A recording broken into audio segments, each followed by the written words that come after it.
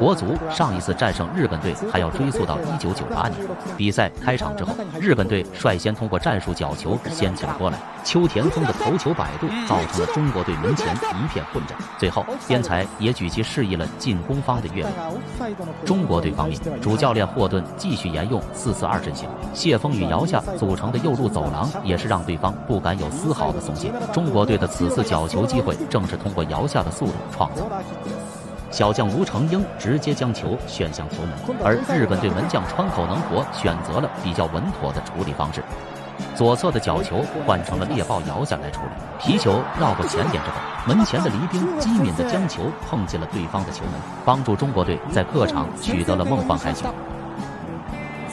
随后，谢峰与姚夏再次在右路形成了串联，后者摆脱防守之后将球传向禁区。而对方后卫的不果断，也是险些酿成了大错。可惜黎兵最后完成的转身攻门被形成了封堵。两分钟之后，日本队沿后场发动快速反击，皮球分至右侧之后，中山雅史面对孙继海的防守，将球横敲至中路。不过中田英寿最后的迎球怒射未能踢准住位。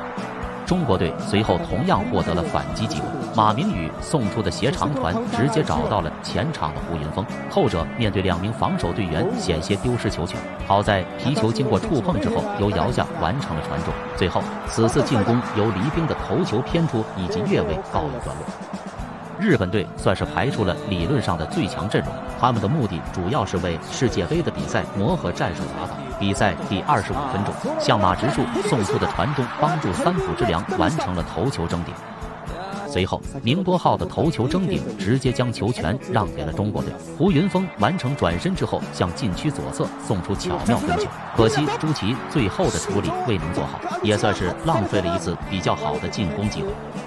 上半场比赛第三十五分钟，日本队险些将比分扳平。二十一岁的中田英寿相继摆脱了三名中国队队员的防守，不过最后送出的横敲，从结果来讲显得有些多余。短短一分钟之后，日本队通过右侧的四十五度传中再造威胁，皮球在禁区前沿被破坏之后，宁波浩顺势完成的大力远射被门将江津奋力击出。随后，吴成英在防守中铲倒了小将三浦之良，日本队也因此获得了边路的任意球机会。宁波浩主罚的皮球在前点形成了头球攻门，这次又是门将江津完成了一次精彩的扑救。上半场临近尾声，日本队在进攻端接连获得机会，尤其是中田英寿在前场腹地显得非常活跃。这次的停球摆脱让中国队的禁区再次风声鹤唳。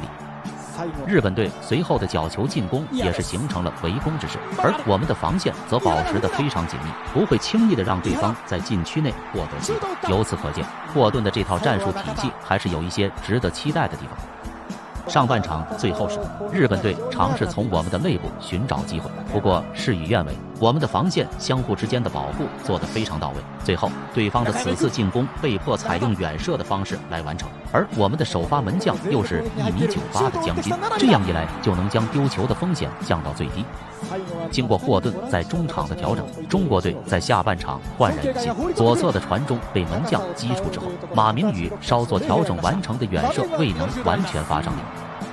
随后，中国队通过谢峰的长传继续寻找机会。胡云峰面对对方的盯防，在禁区右侧强行完成了攻门。